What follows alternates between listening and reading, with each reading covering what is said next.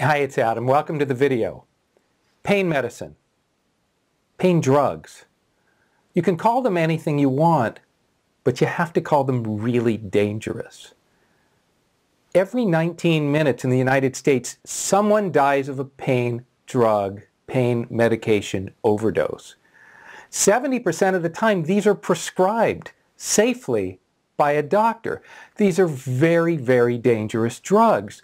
And even just this last week, Congress passed a bill to help try and solve that problem. But unfortunately, they didn't handle it the right way because they're treating it as a drug problem. But the problem is doctors, medical practitioners, day after day after day, keep prescribing these dangerous drugs that lead to addiction, that lead often, sometimes, to death. And they keep getting prescribed. So to treat it as a drug problem where we get people off of the drugs, yeah, maybe that helps a little bit on the backside. But unfortunately, the problem is caused because people are prescribed these dangerous drugs unnecessarily day after day after day. And recently in a conversation with a U.S. congressman and an ex-head of the Drug Enforcement Administration, I made it very clear it's not an opioid problem. It's not a pain medicine problem. It's not a pain drug problem. It's not a drug problem. It's a pain problem. Eliminate the pain and there's no reason to prescribe these dangerous drugs.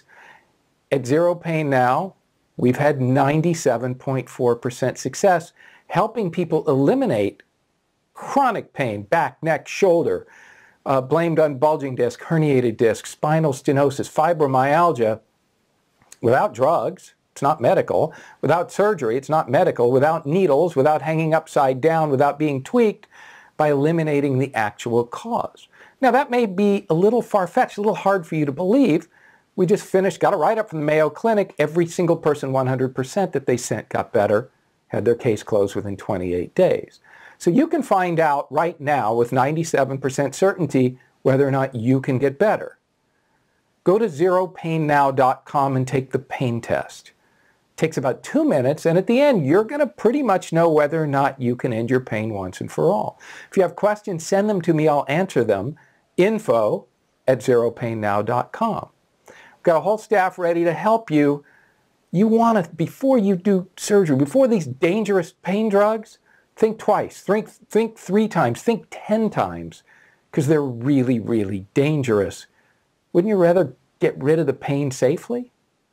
Share this with somebody that needs it. Thanks for watching this video. Here's to your pain-free life. I'll see you soon.